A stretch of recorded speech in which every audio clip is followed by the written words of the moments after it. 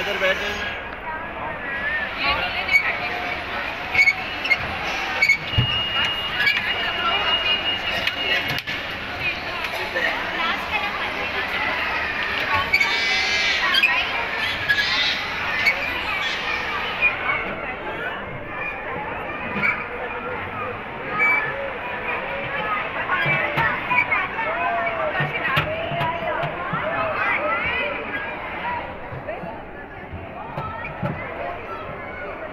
हम बैठे हुए हैं। ट्रेन में बच्चों के झूले के लिए।